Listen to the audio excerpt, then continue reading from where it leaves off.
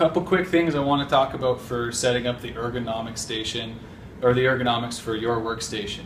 Things to think about. You want to look at your computer screen so that the top of the screen is at eye level. Our natural gaze is to look down and to have that screen tilt up slightly so that it looks straight at your face. The other thing to think about is the height of your keyboard and the height of your chair. Those two kind of go in play together. So if we if you notice, for example, that your knees are higher than your hips, it's going to make it hard for you to maintain sitting upright. So when we think of our pelvis, we want that pelvis to be like a teacup spilling forward to give support to our lumbar. So our lumbar becomes active, and if you feel like you're falling forward, let's lean back a little bit until you feel that core turn on.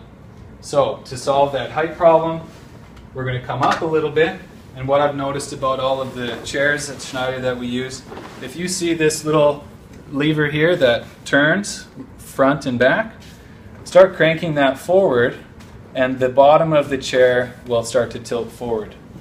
Again, that might be a little bit uncomfortable, but if we can sit with, like that, feet flat on the ground, knees lower than the hips, it's easier and more natural for the pelvis to tilt forward, and as we sit upright, we have even stability throughout.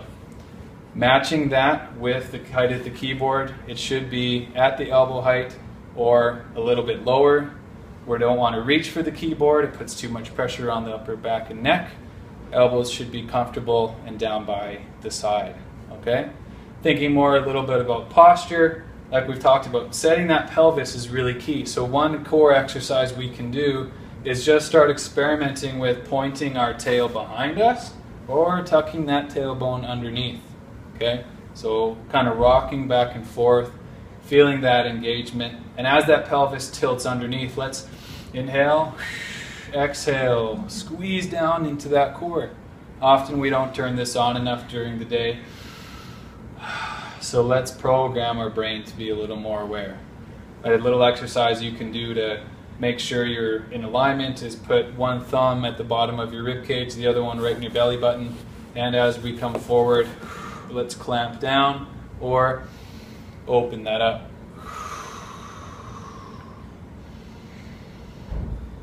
Deep, nice, long belly breaths. All right.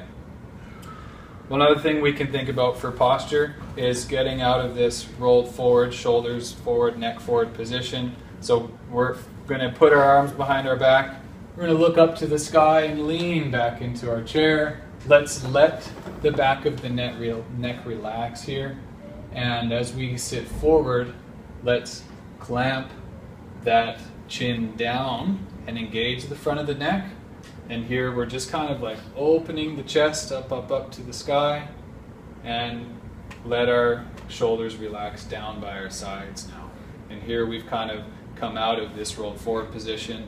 We've reset the shoulders into a good position and we've reset the neck into a good position. So little things you can work on are just feeling engagement to the front of the neck and squeezing shoulder blades inwards into your armpits, okay? I'm not asking you to squeeze back with the chest coming up.